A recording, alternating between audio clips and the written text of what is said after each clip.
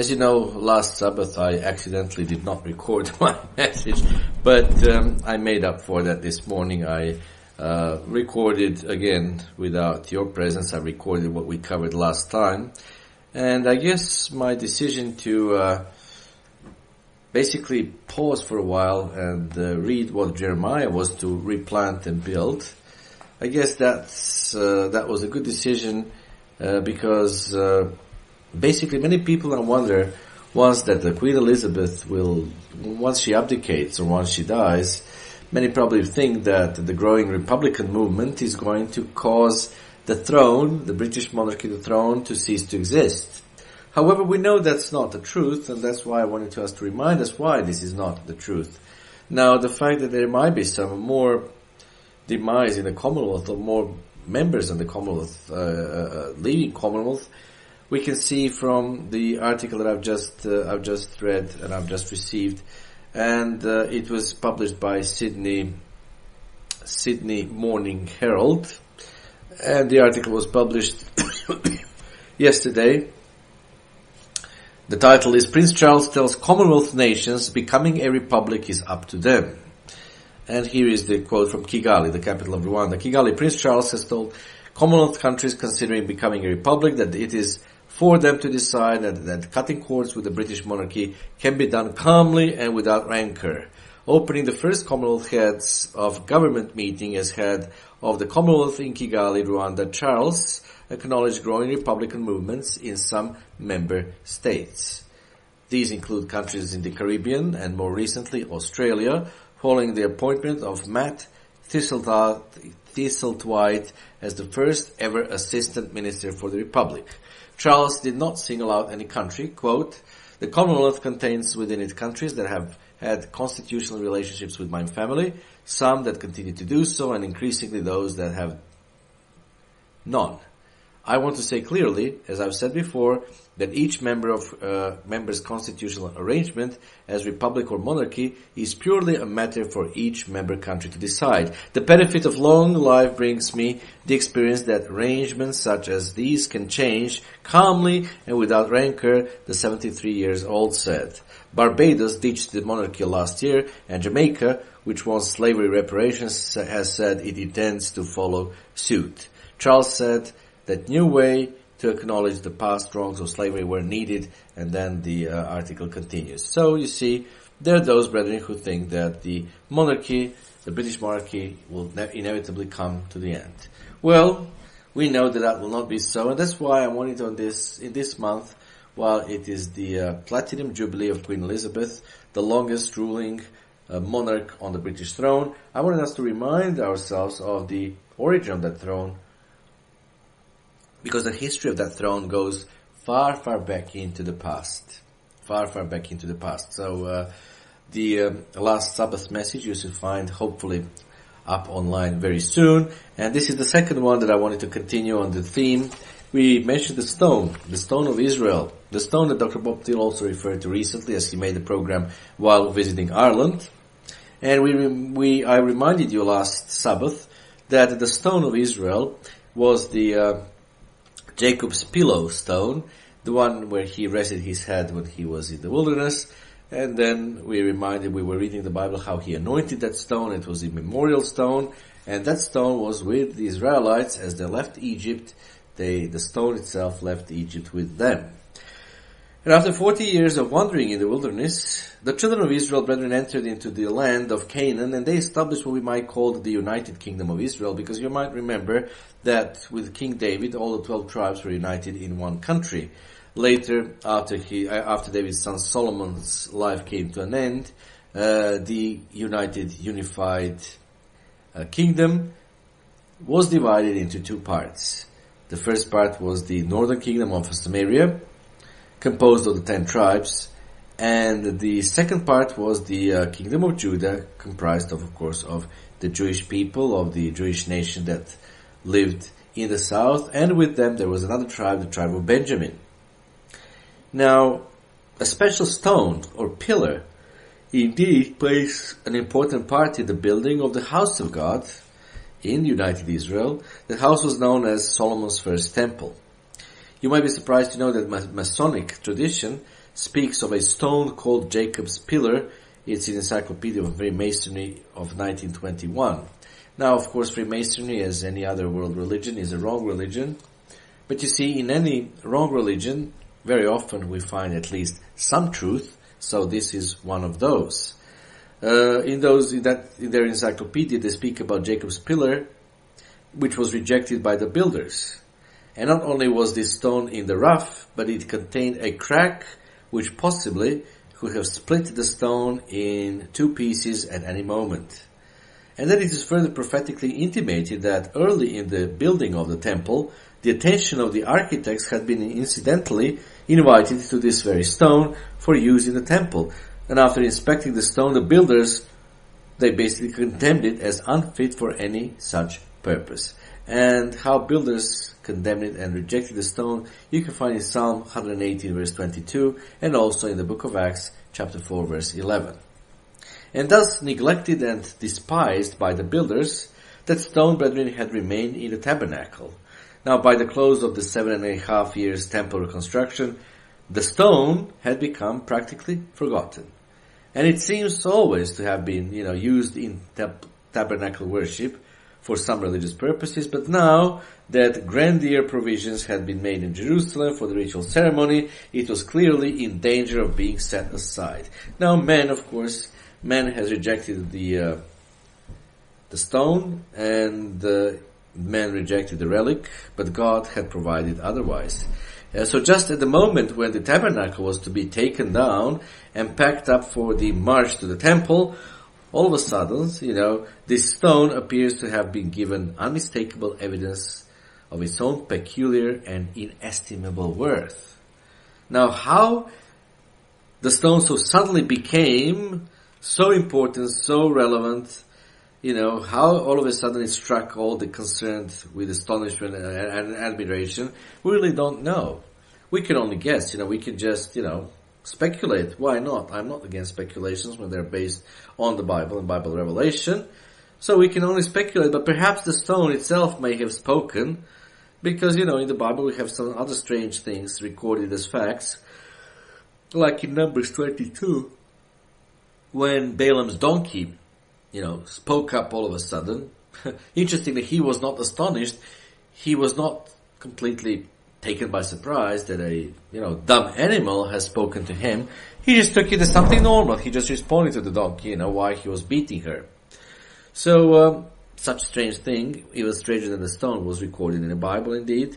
At Kadesh, or Kadesh, Moses had been directed by God to speak to this very same stone, which is recorded in Numbers chapter 20, verse 7 and beyond.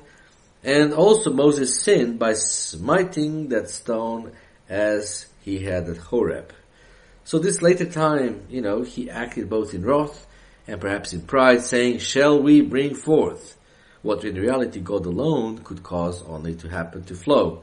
So if the stone could hear, so to speak, why not speak upon some particular occasion? Even Jesus Christ was rebuked by the Pharisees when he was entering Jerusalem on a donkey. They rebuked him to quiet his followers who were triumphantly, you know, uh, crying out during his triumphant ride into Jerusalem. And when they tried to, you know, and, and, and, and tell him, please quiet your, your, your, your, your followers, in the Gospel of Luke chapter 19 verse 40, we read that Jesus Christ told the Pharisees, I tell you that if these should hold their peace, the stones would immediately cry out.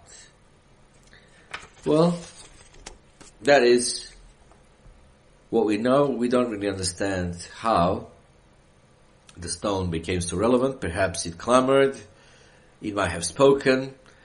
There are even some incidents written in the Irish chronologies that every time the uh, rightful heir of the throne, a descendant of King David was coronated, the stone would make some interesting noise and it was silent or it would make a noise when a fake descendant of King David would try to be coronated. I can't now remember exactly what was the story, but the the, the sound, the, the sound. I mean, the uh, the stone, the pillar stone could make some sound. You see, according to some traditions. So therefore, perhaps it was this pillow of Jacob that basically clambered and then it was included into the uh, big temple. Newly built temple and it became the uh, embedded basically on the coronation chair, which is very, very interesting and very relevant because even to this day, in the coronation ceremony, the stone is always there. And upon that stone, we can see the coronation of all the rulers in the current lost Israel. Now, in the coronation of the king of Israel, we find again a special stone or pillar which was playing an important role in ancient Israel. When Joash was brought forth and proclaimed the heir of King David's throne, he was anointed a king, and then we have in, this is in 2 Kings chapter 11, verse 13 and 14, we have this uh, account. And here it says the following. 2 Kings chapter 11 verse 13. And when Athaliah heard the noise of the guard and of the people, she came to the people into the temple of the Lord. And when she looked, behold, the king stood by a pillar as the manner was. Now in the Revised Standard Version it says, standing by the pillar, as was the custom, and the article the denoted a particular pillar by or upon which it was the custom of Israel to crown their kings. Uh, famous Adam Clarke, uh, one of the one of those commentators on the Bible, he comments on this expression "stood on a pillar." He says that the place it is a place or throne on which they were accustomed to put their kings when they proclaimed them. So, you know, uh, we have in Second Chronicles chapter 23 verse 13, uh, recapitulation of the circumstances concerning Joash, which in that uh, account, we read this interesting statement, and she looked at Athaliah, and she looked, and behold, the king stood at the pillar. And again, this indicates it was a particular pillar belonging to those who were anointing anointing, uh, uh, belonging to those who were anointed king, but also it was well known to the others who were, you know, participating in the coronation ceremony. In the companion, companion Bible, the, there is an alternate rendering. It says, upon that Joash stood upon the pillar, and it is reasonable to assume that, you know, he stood upon the stone which Jacob had set up as a pillar when he made his covenant with God. Indeed, Israel was familiar with the history of the Beth El stone, and Israel knew it was the house of God to Jacob, and it had become the guardian stone of Israel.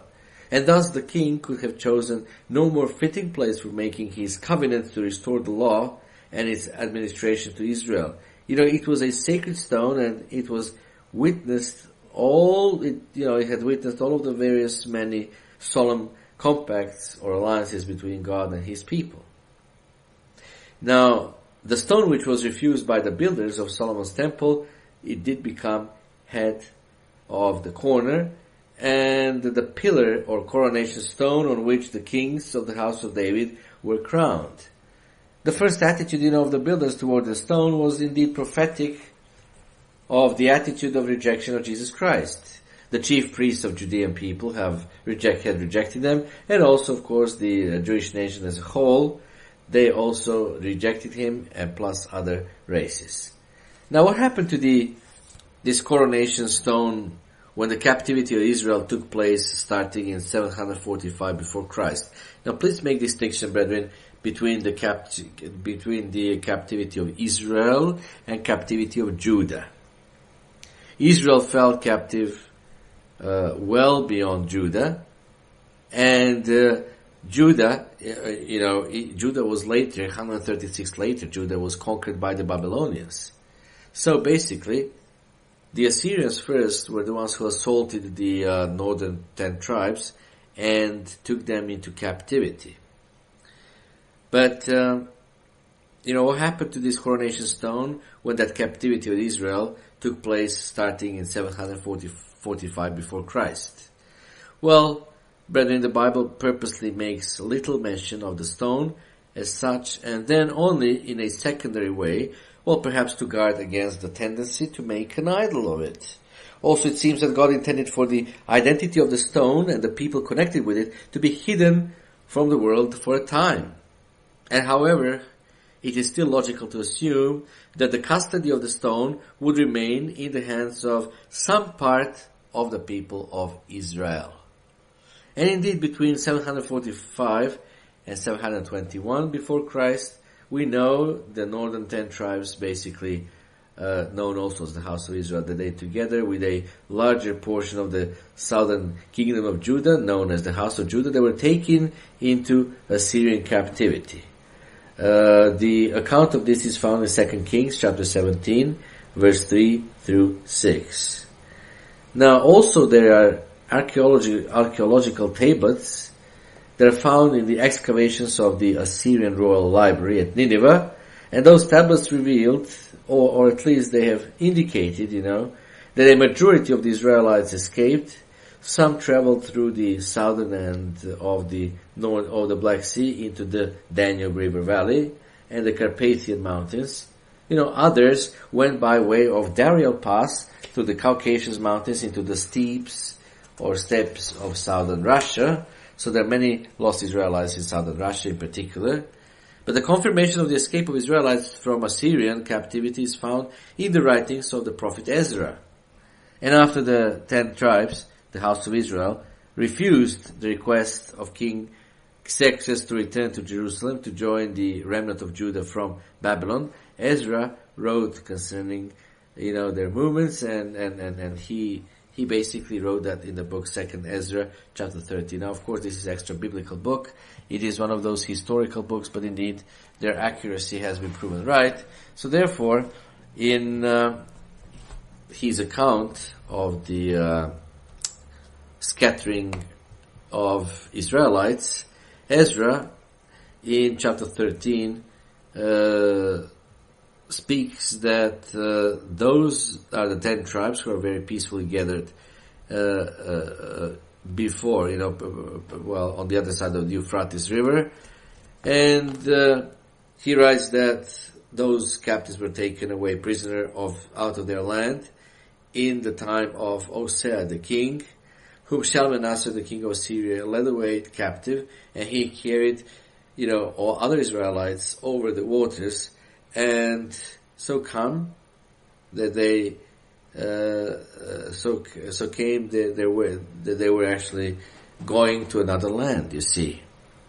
However, they took the counsel among themselves. It says, and they decided to leave the multitude of heathens and go forth into further country where never mankind, humankind dwelt, that they might, you know, there keep their statues which they never kept in their own in their own land, in their own home, and they entered into the Euphrates as Esdras, second Esdras, by the narrow passages of the flood until they were passed over. For those, for through that country there was a great way to go, namely of a year and a half.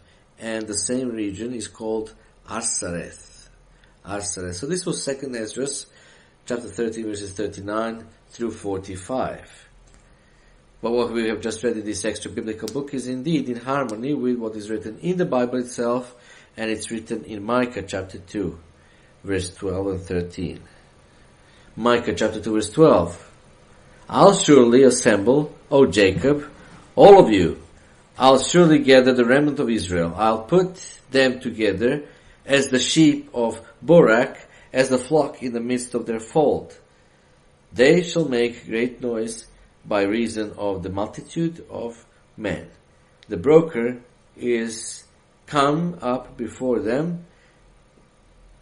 They have broken up and have passed through the gate, and the gate out by it. And their king shall pass before them, and the Lord of the land of the head of them. Now this is interesting that, you know, basically we have this clause, they have passed through the gate and in Micah and in Ezra it says they have entered into the narrow passages. Well, those two accounts are parallel and refer to the same circumstance and place.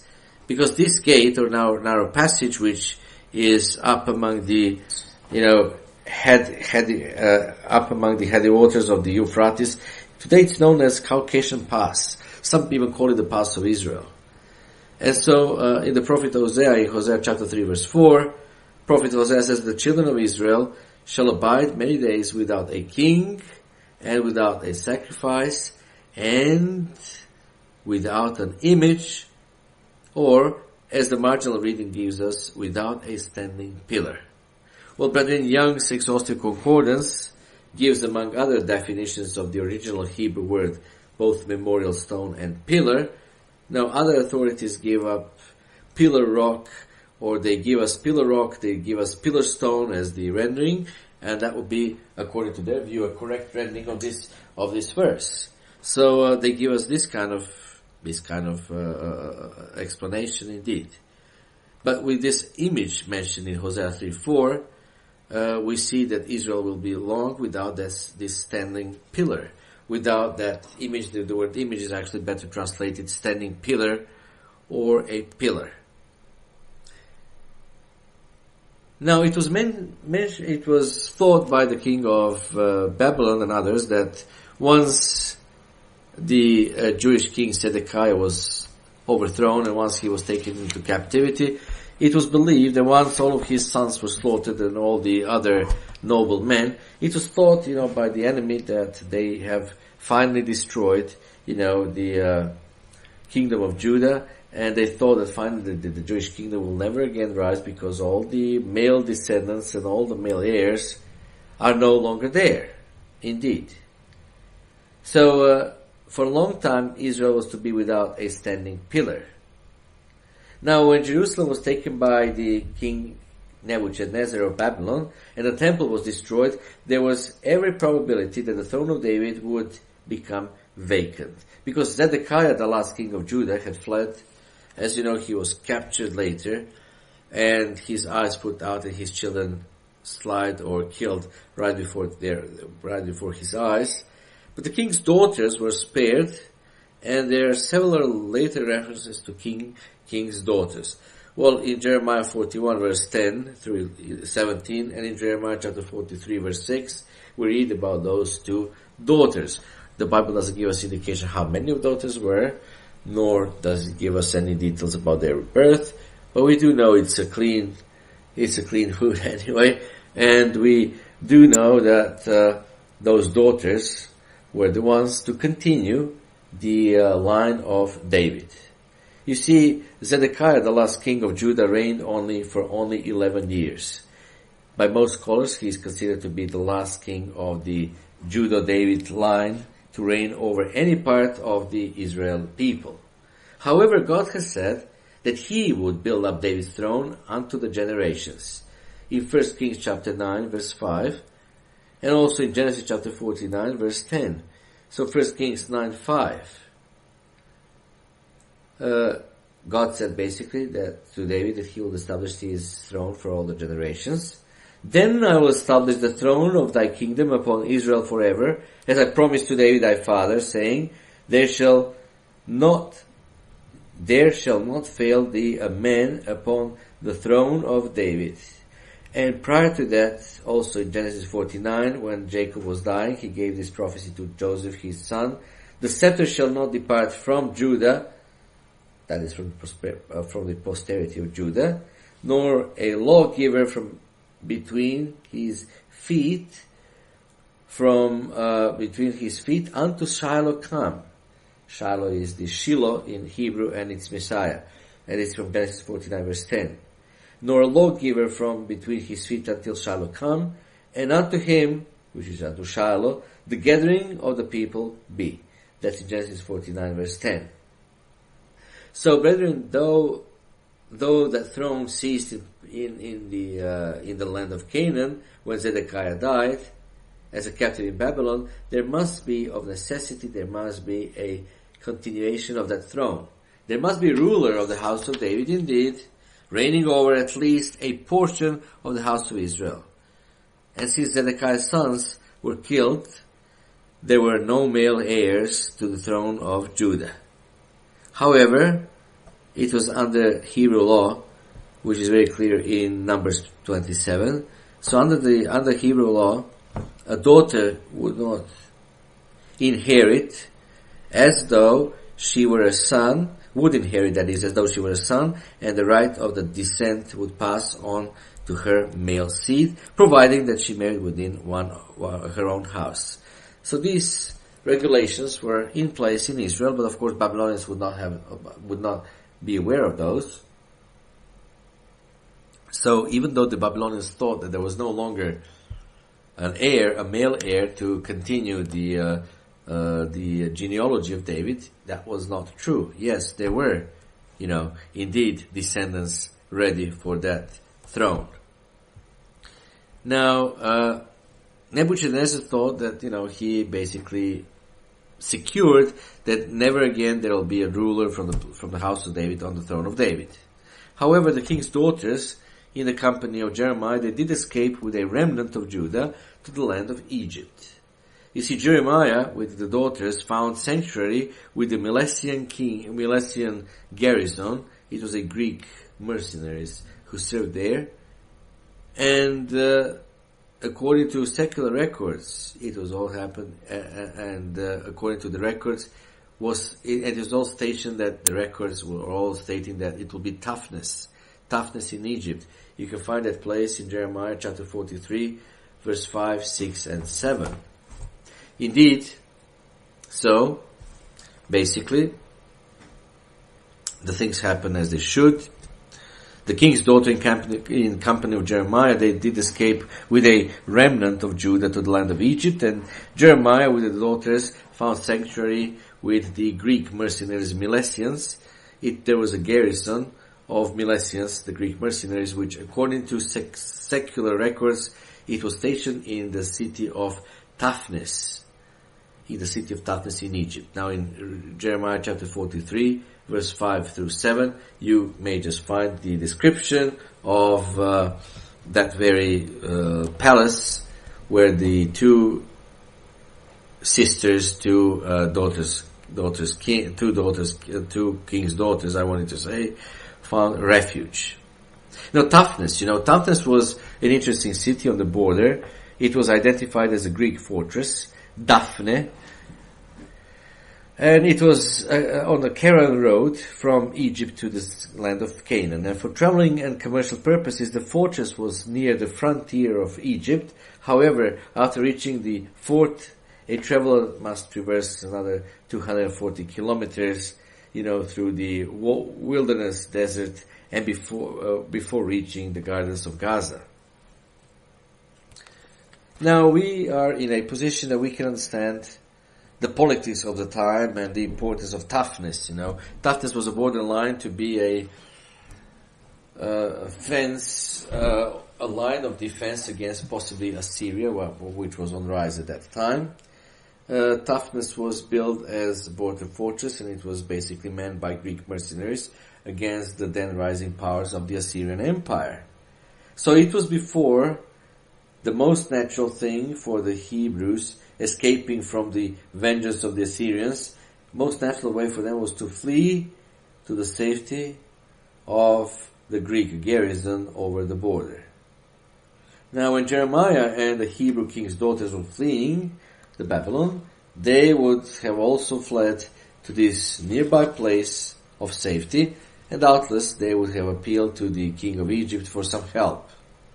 Now, the Pharaoh Hophra, the Pharaoh Hophra indeed was uh, an honest person and uh, basically had come recently in 589 to the throne of, of Egypt.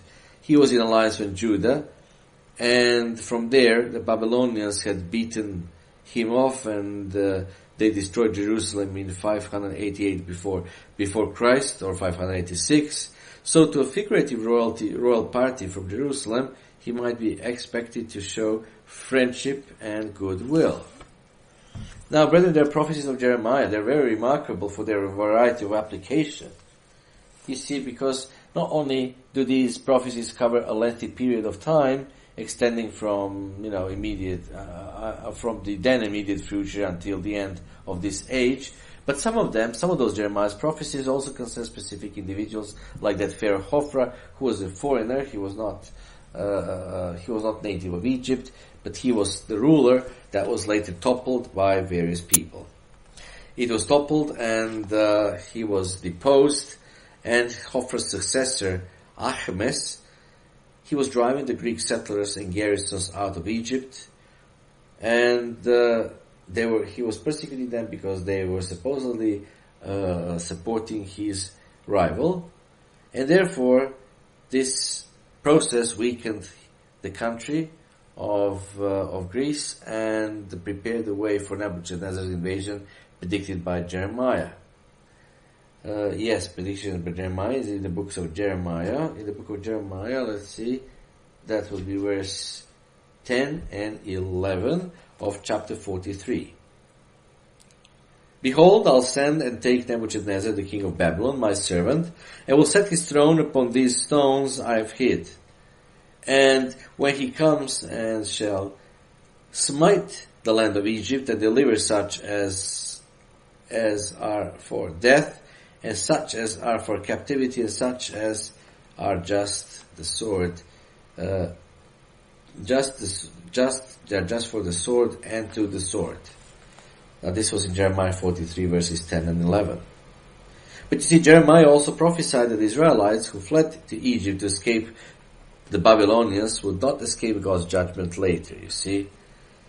They would not because in Jeremiah 44 we see verse 26 and 27. Jeremiah 20, uh, 44 verse 26. Therefore, hear ye the word of the Lord, all Judah, that dwell in the land of Egypt. Behold, I have sworn by my great name, says uh, the Lord, that my enemies shall no more be named in the mouth of any man or Judah, all the land of Egypt, saying, The Lord God lives. Behold, I'll watch over him for evil and not for good, and the men of Judah that are in the midst of the land of Egypt shall be consumed by the sword, which by the sword and by the famine, we, until there is no end to be found of them. Now this was, you know, uh, all explained to us in Jeremiah chapter 44. In any way, following this statement, following this judgment, one was to promote that a, you know, uh, that a mind and a person uh, would escape. So Jeremiah 44 verse 14, for none shall return but such as shall escape.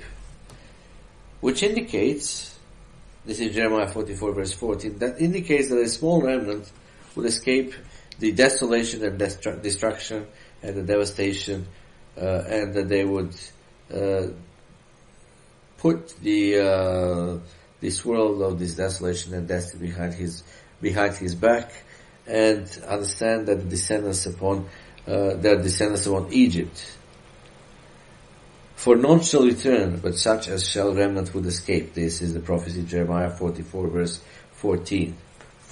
So, there is no reason again to fear, but everything under, under God's control, and He's working out His plan that He ha- that He He has.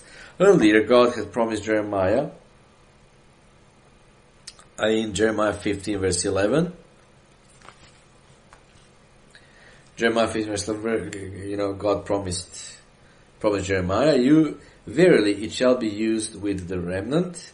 Verily I'll cause the enemy to entreat thee well in the time of evil and one in the day of affliction. Now this was in Jeremiah 15:11. Now this statement is followed by the promise that Jeremiah would pass into a land which he did not know. In Jeremiah 15 verse 14. And I'll make thee to pass with thine enemies into a land which you know knows not. So we have also prophecy in Isaiah, prophecy of Isaiah about the remnant that was to go forth from Jeremiah and from Jerusalem, that is, and to escape. And it says, and the remnant that is escaped of the house of Judah shall again take root downward and bear fruits, fruit stoned. And there is also, you know, uh, uh, uh, another account of Jeremiah because this that we've just read in uh, Isaiah 37, it fits in with Jeremiah's divine, uh, divine commission. In Jeremiah 1.10, it says, See, I have this day set the over, set, set thee over the nations and over the kingdoms to root out and to and to uh, to root out, pull down, to destroy, and to throw down, to build and to plant. That was in Jeremiah 1.10. We read about the sacred commission that Jeremiah had. Now this remnant, which was also to escape, was not the remnant that was left by Nebuchadnezzar in the land of Judah, nor the entire remnant that went down into Egypt to dwell, but it was Jeremiah's own particular little remnant, you know, a small, selected company that's been that's been given, that selected company that he was given to him, obviously for a purpose, and uh, it was given to him to do the planting and building. And since this planting and building was to take place in a land that Jerusalem and that Jeremiah did not know, it could not have been in Egypt or in the Canaanite land or in Babylon or whatever, you know, whatever region you might, might come up with. It could not be any of those regions around the, uh, the, the, the promised land because you know it was on fire and it was known region to uh, the one who was to do the uh, translation translation or or uh, uh, uh, changing of of the throne. So Jeremiah could not, you know, he could not pass that throne to any of those surrounding countries surrounding the, the, the the promised land. The expression to pass is significant, for it implies travel by sea, passage by boat and that's exactly what Jeremiah did. He underwent traveling by sea with king's daughters in transplanting the stone of Israel. Now the Bible records Jeremiah fulfilling so the first part of the commission when he had the uh, commission that uh, he was to build and to plant. So there is no secret that planting and building moreover was to be a distant foreign land to which God declared Jeremiah would go, you know, with his remnant. Now, we need to turn to the book of Ezekiel chapter 17. Before that, I just want to remind you that upon leaving Egypt, Jeremiah would doubtless have had in his possession the stone of Bethel, the symbolical throne of David, and the stone was a witness of promises still to come, and of course, which of which some of which even today they are still waiting fulfillment. Now certainly what God commissioned uh, Jeremiah, God's indeed divine providence would not allow this witness to suffer destruction or fall into the sacrilegious hands. Jeremiah 17, now Ezekiel 17 that is. Now the scripture doesn't tell us about uh, Jeremiah's whereabouts after describing his journey to Egypt. But we have every reason to believe that God would see to it that he was preserved to accomplish, you know, to accomplish the building and planting which he was commissioned to do. Now the daughters of King Zedekiah became the prophet's wards. Now because God had promised that his covenant with David would not be broken and that David would never lack a seed to reign upon his throne, the building and planting obviously had to do with preserving this royal branch of the house of David indeed. Now this brings us to very important question. What happened to this royal party after they left Egypt? In other words, where did they go? And one important clue is found in the riddle of Ezekiel chapter 17. Ezekiel chapter 17 verse 1 and take riddle and speak a parable unto the house of Israel and say, Thus says the Lord God, a great eagle with great wings, long winged, full of feathers, which had diverse colors, came into Lebanon and young twigs and carried it into a land of traffics. He set it in a city of merchants. He took also the seed of Jesus and planted it in a fruitful field he placed it by a great waters and set it a willow tree.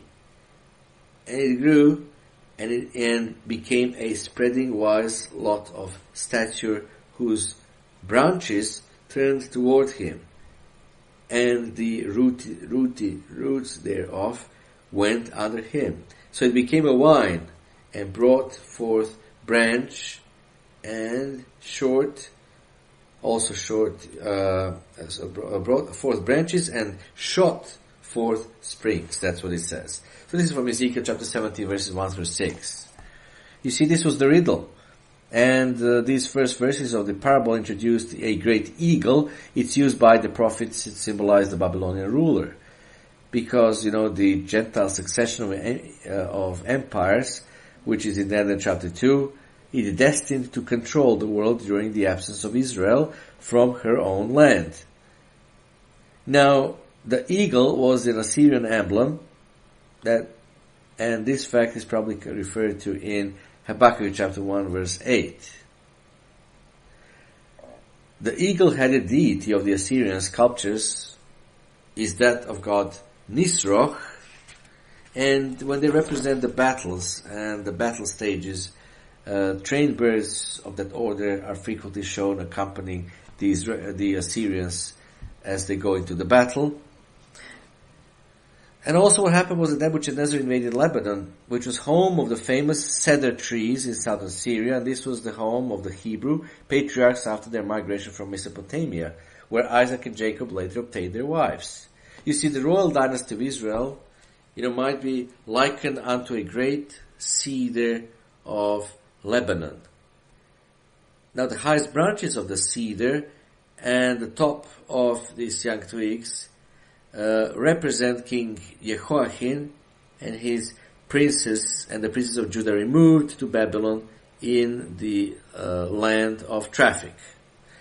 Now Nebuchadnezzar was the world dictator, and that, you know, dictator, he also took of the seed of the land and planted it as a willow tree in a fruitful field by great waters. That's prophecy of Ezekiel 17 verse 5. You see, brethren, vast numbers of willow lined they lined the waterways of Mesopotamia. The roots of the trees help to hold the muddy banks together. And in this respect, it is a fitting symbol of a country that depended for its existence upon irrigation and waterborne trade, as did Mesopotamia in the general and Babylonian in particular. Now after Jehoiachin was taken to Babylon, his brother Zedekiah was made a puppet ruler of Nebuchadnezzar. Now Zedekiah was indeed, he was planted figuratively by the great waters of the Euphrates upon which he took was to depend for his existence. Now this seed of the cedar tree, planted like a willow of Babylon, it became a vine and brought forth branches and shot forth springs. Now here is a, a, an ingenious intermingling of national symbols. The cedar typifying the house of David, was set up to grow with as Babylonians willow and as a wine, which is the symbol of Joseph and the birthright. Now all this was done as part of not only, uh, well, not only of, uh, of the goodwill, but it was basically done as a part of Nebuchadnezzar's great plan to establish sovereignty over Israel. Because this puppet state became only a wine of low statue. Now, it could not compare with the former exalted state of the servant nation, for out of all twelve tribes of Israel, only a badly shattered remnant of the kingdom of Judah was left, indeed. And then the riddle continues with the introduction of another great eagle. We read from verse, it's Ezekiel 17, verse 7 through 10. There was also another great eagle with great wings and many feathers, and behold, the vine did bend her roots toward him and shot forth her branches toward him, that he might water it by the uh, furrows of his plantation. It was planted in a good soil by great waters, that it might bring forth branches, and that it might bear fruit, and that it might be a goodly vine. Say that, say thus, Thus says the Lord God, shall it prosper? Shall he not pull up the roots thereof and cut off the fruits of uh, of of of uh, the fruits thereof? That is wither. Oh, this old English language. But anyway, it shall it, it shall wither in all in all the leaves of her spring, even without great power of many or many people to pluck it up by the roots thereof. Yea, behold, being planted shall it proper, prosper, shall it not utterly wither, when the east wind touches of it, shall wither in the furrow, furrows where it grew. Well, we have now the second eagle. The second eagle was the Pharaoh of Egypt, who was approached by Zedekiah, the last king uh, on the throne of Judah. Zedekiah was approaching the, this king in hope of deliverance from the Babylonian king. The Egyptians indeed sent a force to assist Zedekiah, and his sons were however taken to Babylon to meet their unhappy end, and Jerusalem was destroyed. Now this was rather a dreadful fulfillment. The roots of the plant were torn up, and its fruit was cut off.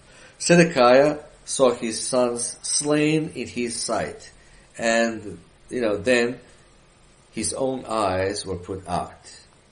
Then the riddle continues in Ezekiel, now from verse 12. Moreover, the word of the Lord came to me saying, Say now to the builders, to the rebellious house, Know you not what these things mean? Tell them, behold, the king of Babylon is come to Jerusalem and has taken the king of thereof and the princes thereof and led them with him to Babylon and has taken of the king's seed and made a covenant with him.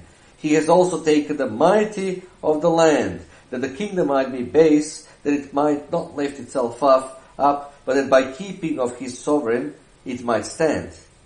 But he rebelled against him in sending his ambassadors into Egypt, that they might give him horses and much people. Shall he prosper? Shall he escape that does such thing? Or shall he break the covenant one and be delivered? As I live, says the Lord, surely in the place where the king dwells that made him king, whose oaths he despised, and whose covenant he broke, even with him in the midst of Babylon he shall die. Neither shall Pharaoh with his mighty army and great company make for him in the war by casting up mounts and building forts to cut off many persons, seeing he despised the oath by breaking the covenant, when lo, he hath given his land and has done all these things, he shall not escape. Therefore thus says the Lord God, as I live, surely mine oath that he hath despised, and my covenant that he has broken, even it will I recompense upon his own head.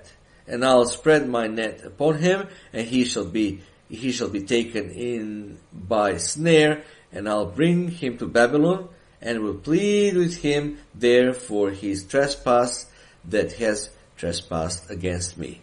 And all his fugitives with all his bands shall fall by the sword, and they that remain shall be scattered toward all winds. And you shall know that I, the Lord, have spoken it. So this was from verse 12 all the way to verse 21. Now you see the second part of this parable, this second great eagle. He is now set up in contrast to the first, the first great eagle, which saw how the aspirations of the kings of Judah were brought to naught. You know, their failures, however, were not to be allowed to annual, uh, to annul the promises of perpetuity made to the house of David.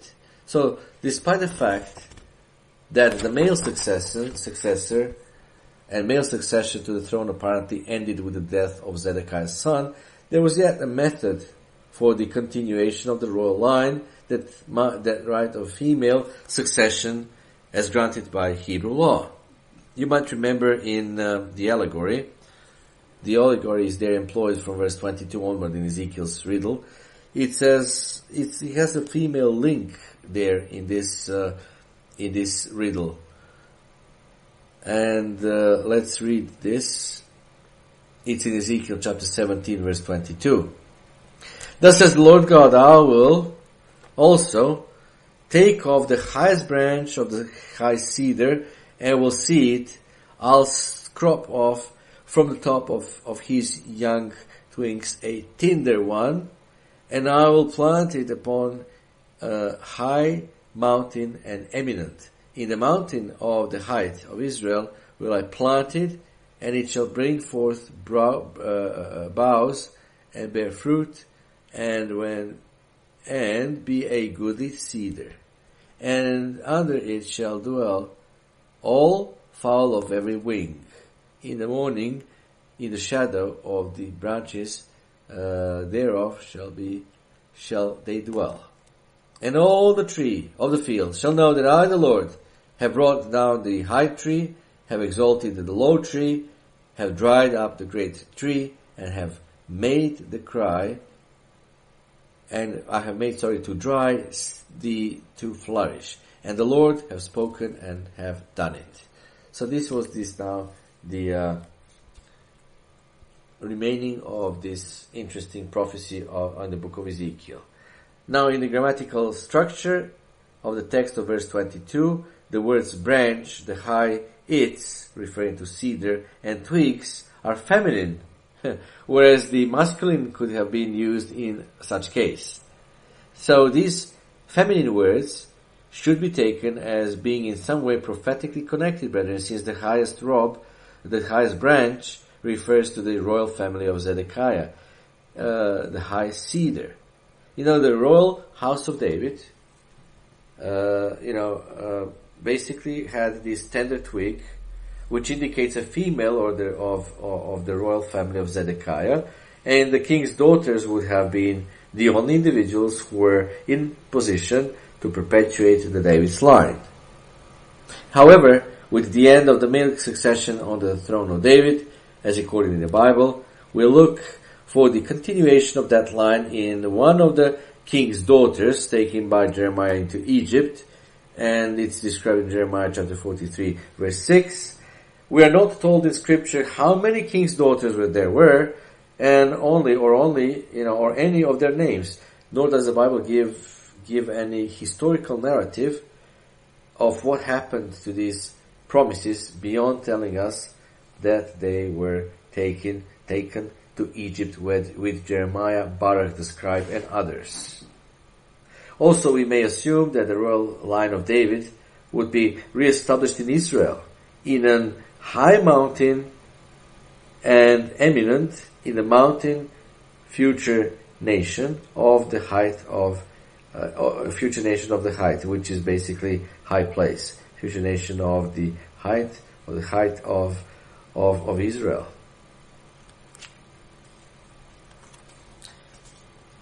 Well, the house of Judah was broken forever, and the royal line was to be transferred, brethren. It was to be transferred now to the house of Israel. This is entirely in keeping with the parallels of the potter's vessels. The house of Judah was commanded by Jeremiah to get a potter's earthen bottle with which he was to demonstrate the judgment upon Judah. Now Jeremiah was told, you know, to take some of the leaders among the people and the people and go to the valley opposite the pottery, to gate where he was to proclaim a message of judgment upon them for their evil ways. He was to then break the bottle into the sight, in the sight of those who went with him, and say to him, Thus says the Lord God of hosts, even so will I break this people and this city as one breaks a potter's vessels. As one breaks a potter's vessels cannot, cannot be made whole again. Now, as we contrast the illustration of the house of Judah, the house of Israel's conditions were that of a vessel of clay damaged in the making, you know, bust, still workable clay, capable of being reshaped. Well, it's in Jeremiah chapter 18 verse 4 that this potter, the products of pottery are described, verse 4, 5, and 6. So, we have that to establish that the house of Israel and the house of Judah as two separate and distinct nations are still there, but they're going to reunite, reunite at the return of Jesus Christ. Now, further prophecy that uh, of the transferring of David's throne from his own uh, from uh, where where he was from the house of Judah, and then to this describe to to change it somewhere. Well, it did not remain secret anyway, because uh, a further prophecy says that uh, in Ezekiel chapter twenty one, we'll have this uh, uh, throne from the house of Judah now being transferred to the house of Israel. Ezekiel 21 verse 25. And thou, profane wicked prince of Israel, whose day is come, when iniquity shall have an end. Thus shall the Lord God remove the diadem and take off the crowns, and this shall not be the same. Exalt him that is low, and it shall be not moral uh, it will be not not not not not not any, it will not be any more low. So remove the diadem, says the Lord, and take off the crown. This shall not be the same. Exalt him that is low and abase him that is high. And I'll overturn, overturn, overturn it, and it shall be not more overturned until the Messiah comes, whose right it is. And I'll give it that throne of David to him, to the Messiah, basically. So that's why we know that the British monarchy will never cease to exist, brethren. Well, now in closing comments about this uh, prophecy of Ezekiel. In this prophecy, brethren, the accepted interpretation of the profane wicked prince, the one that was high, is that he was Zedekiah, king of Judah. Now it is he who was to be brought down, but who was the low one referred to? To who was to be exalted? You know, the one that was ruled over at the, at the, the time of, uh, at the time the words were spoken. Well, to answer that question, it's necessary to return to an incident in the book of Genesis, chapter 30, 38. That chapter relates with such explicit details that you know it must be regarded indeed as highly significant and relevant. Usually, in such cases, the dialogue foreshadows coming events. So anyway, basically, in the Bible narrative, Judah, the son of Jacob, who was to be the father of the future kings of the covenant people, he married a Canaanite woman. But the Canaanites were an abomination to the Lord because of their Baal worship and other unrighteous practices, brethren. And therefore, none of the sons of this marriage were allowed to become progenitors of the promised royal line. Two of the sons by this marriage died, and in the course of time, the Canaanitish wife also, also died. Then the scripture tells of how Tamar, a woman who had been who had, uh, you know, was she was a widow. Well, she was a widow. Yes, she was living a sol- solitary life, but she was a woman who had been living a celibate life for years, and nevertheless she longed for motherhood.